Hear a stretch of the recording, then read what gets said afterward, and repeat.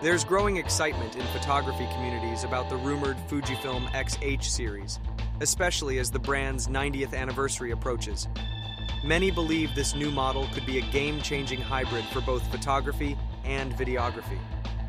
Rumors suggest it will feature advanced autofocus and improved sensors, fueling speculation about its potential impact on the future of imaging.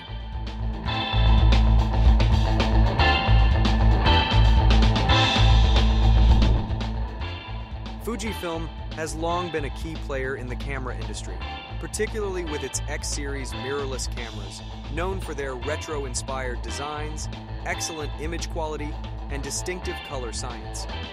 The XH line is especially popular among hybrid shooters, offering top-tier performance in both still photography and video. The current XH2S boasts a 26, 1 megapixel stacked X-Trans CMOS sensor, but there's talk of the upcoming model featuring a 40 megapixel non-stacked sensor.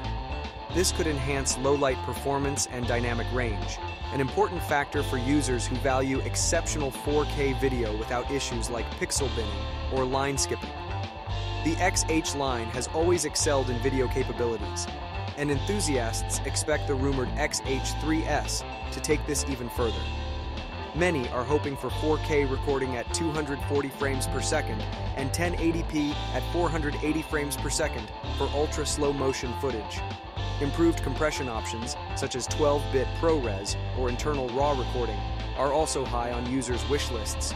Although Fujifilm has made significant strides in autofocus, there's still room for improvement, particularly in face and eye detection, subject tracking, and low-light performance. Users also hope for enhanced customization options, like the ability to focus on specific areas of the frame. Fujifilm's in-body image stabilization, IBIS, has generally performed well, but many expect the XH3S to bring further advancements, making handheld video work and low-light photography even more seamless. Some have suggested changes to the button layout, such as moving the custom dial to the right side for easier access. A clearer separation between photo and video mode controls could also improve the user experience, offering more tailored customization depending on the shooting mode. Fujifilm's renowned color science is a signature feature of its cameras, and fans hope for more film simulation options in the XH3S, especially the ability to apply these simulations to F-Log2 footage in post-production for greater creative flexibility. Pricing is another topic of discussion. Some found the XH2S to be pricey for an APS-C camera, so there's hope that the XH3S will either be more competitively priced or offer features that can rival full-frame models. Rumors suggest the XH3S could debut in early 2025, which aligns with Fujifilm's history of releasing major products during significant milestones, like their upcoming 90th anniversary. Fujifilm has built a reputation for surprising its users with innovative features and thoughtful design choices, if the XH3S follows this trend, it could represent a major leap forward for the X series, especially for hybrid shooters who demand high performance in both photography and videography. While it's fun to speculate on what the XH3S might offer, it's important to remain realistic. Many features on users' wish lists, like better button placement, enhanced photo and video customization, and improved film simulations, are plausible. However, until Fujifilm officially announces the camera, it's impossible to know exactly what it will bring.